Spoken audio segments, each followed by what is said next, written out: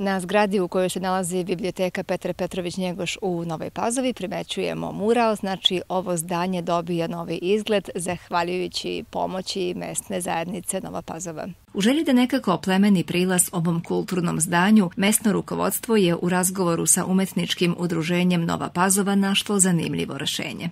Bili su raznorazni grafiti na, na tim zidovima, čak neki malo i uvredljive sadržaje, pa smo rešili da to nekako okrećimo i da dovedemo u red e, tu gradsku biblioteku. I došli smo na ideju da istrtamo neki mural. I onda smo razgovarali sa udrženjem likovnih umetnika iz Nove Pazove, oni su to prihvatili odmah, su nam izašli susred, čak su dali neke predloge kako, šta hoće, šta mogu da urade i krenuli smo sa realizacijom pre nekih otprilike mesec dana.